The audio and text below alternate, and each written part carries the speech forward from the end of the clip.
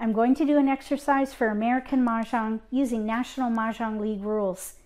I call this exercise Charleston Force because we're going to pre-select categories and force hands in these categories.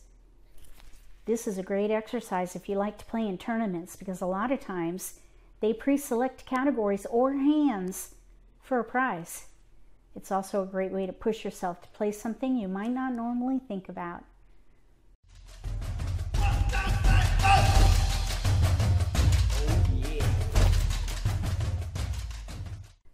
If you're new to Mahjong or if you already know how to play and just want to build your skills, consider subscribing to my channel. That way you won't miss anything.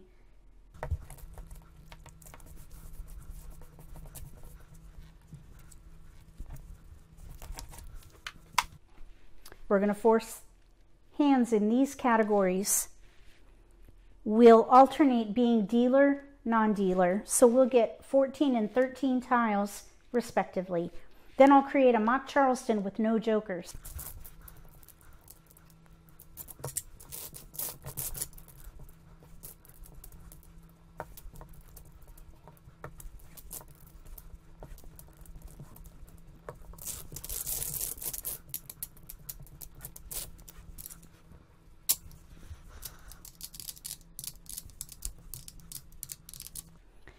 we have flowers, a green dragon, a south, one, two, four, six in BAMs, two, seven in dots, one, two, seven, nine in cracks. If these were your tiles, which of these would you force? And what would be your first pass?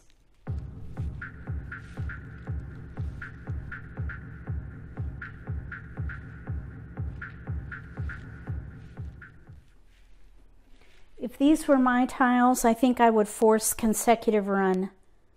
One, two, one, two, the flowers. We might be able to span up to four. There is a hand in consecutive run that uses the matching dragon.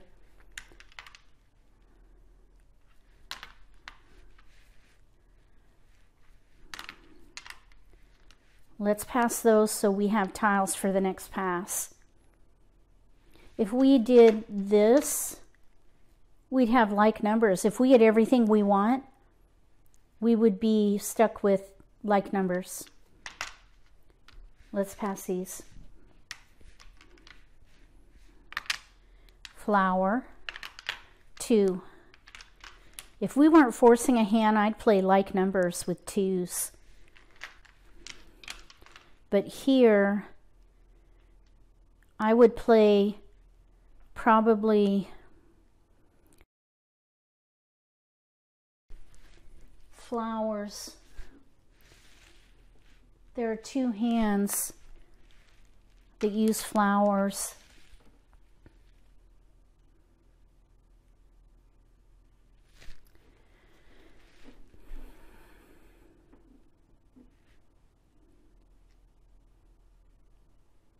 I wonder if maybe we could play a wind hand with the year tiles and play winds and dragons. Let's hold the twos and this pair and see if we get consecutive tiles around this two or switch to like numbers, I mean um, winds and dragons with the year. We did pick up a pair, but we have one, two potential more so.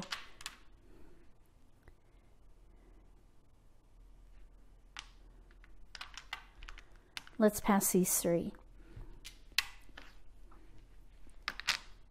We've got a north and an east. Let's keep the winds.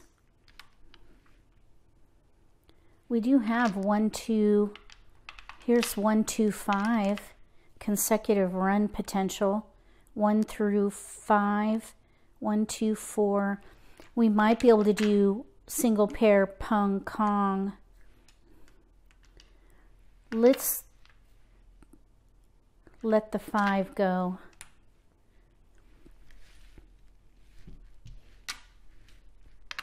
There's a one.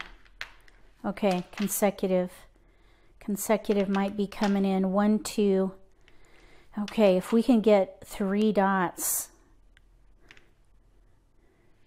Nine, four. We got the four. Okay. One, two, three, gap, four with flowers. So let's see. Let's pass these three. We got a four dot. One, two, four, one, two, four. Let's pass these. We got a white dragon. And a green dragon. Oh my gosh, look at that. Wow. There's a seven. All right, now let's see. The dragon consecutive hand does not use flowers, so I would let that go. And then I would pick either BAMs or dots. Having a pair might be reassuring. We do have a gap, no three dot. Let's let the single go.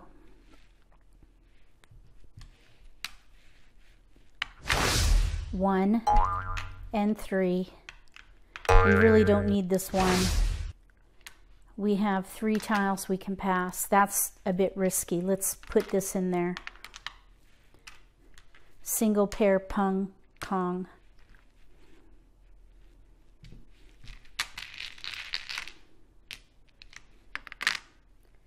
We did end up getting a one. One, two, four dragon. I would discard those. But here, we have no gaps for consecutive run. I'd push that.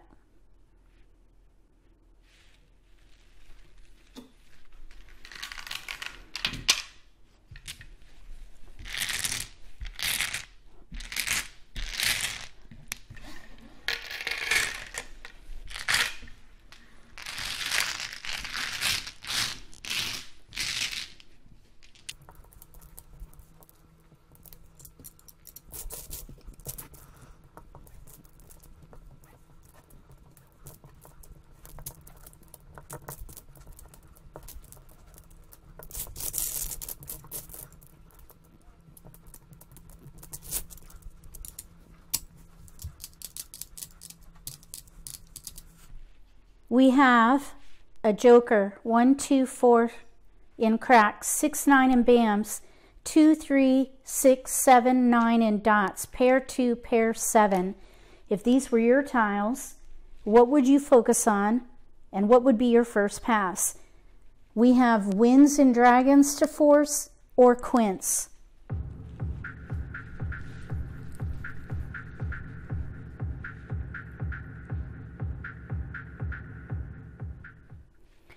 I think I might force a quint here.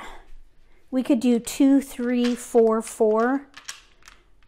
Two, three, four, four. That is the second one, second quint. Or we could do five, seven, nine.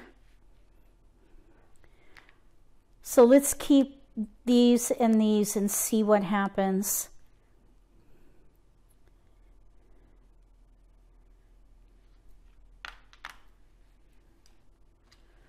Let's pass these.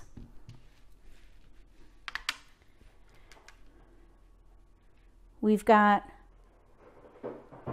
a dragon. That is in a quint, a dragon. Let's just keep it. We have a gap, no flowers. Let's pass these. We got a two. I would say dragon quint joker bait. Here's a south, no, no winds in quints.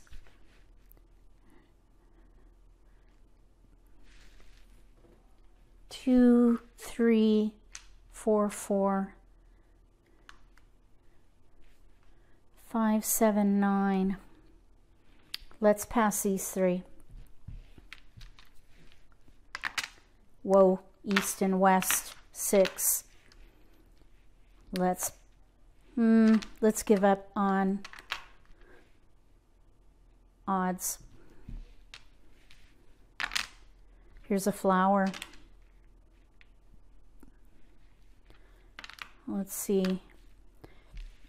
We're going across. Let's break up the pair. We don't have very many. Wait, we do have discards. Now that we have a flower, we have no gaps. So let's keep the pair for joker bait. We have lots of discards this way.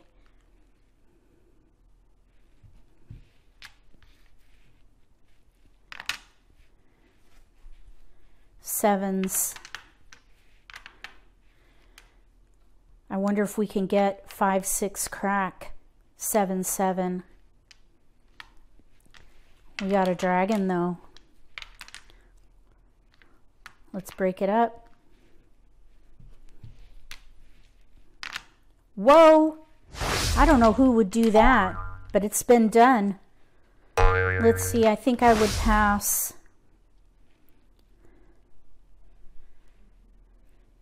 Two for optional cross. So we have discards and joker bait. One of these would work, but we'd have joker bait with one of those as well. And if the quint didn't come in, we could always play a year hand.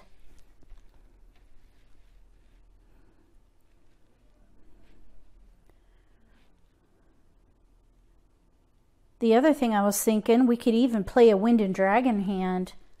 We could play 2 0 2 0 with dragons. But I think I would push for the quint.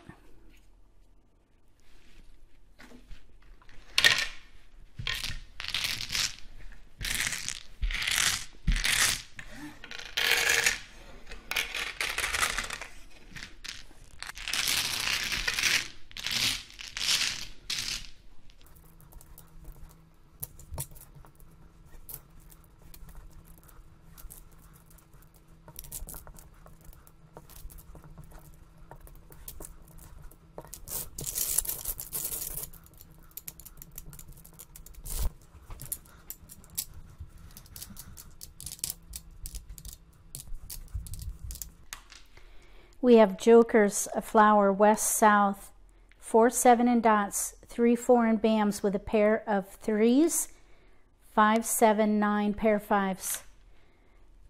We need to force winds and dragons. I would keep that, and I would keep these pairs. There are hands that use winds with number tiles, north and south with odds, east and west with evens, but our multiples are with odds. Let's keep the winds and these multiples and see what comes in.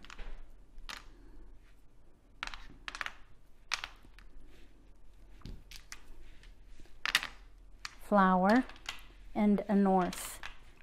We have a three. North and south with threes. No keepers.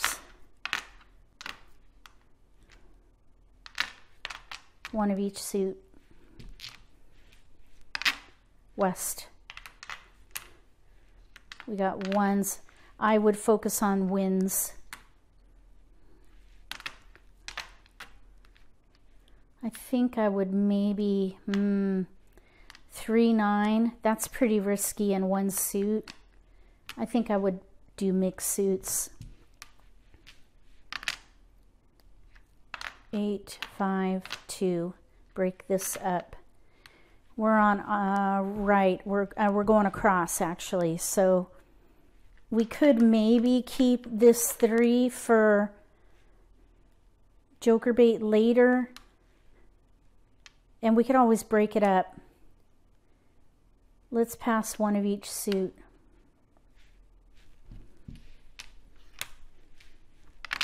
There's south and we have tiles we can pass.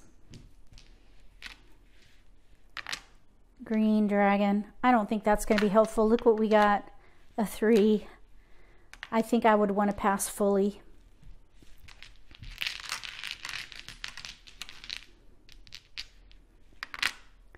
We've got a four, four, eight joker bait here. I would play news concealed. News concealed. Joker bait. There are links in the video description below for that strategy. That was coined by Tom Sloper of Sloperama. It's hit or miss, but it's a lot of fun to try to get a joker in your hand. With the right decision making at the right time, you can force just about any category on the card with your tiles. I've started with one tile and was able to make a hand work. Okay, three, two, one. American Mahjong is very flexible and you can really make just about anything work with the right decisions at the right time. If you like this video, give me a thumbs up. If you haven't subscribed to my channel, consider subscribing. Click that little gray bell if you do. That way you'll get notification for when I post new videos and you won't miss an opportunity to learn a new strategy or pick up an insight to the game that could give you an advantage at the table. Between now and the next video, may all your picks be keepers.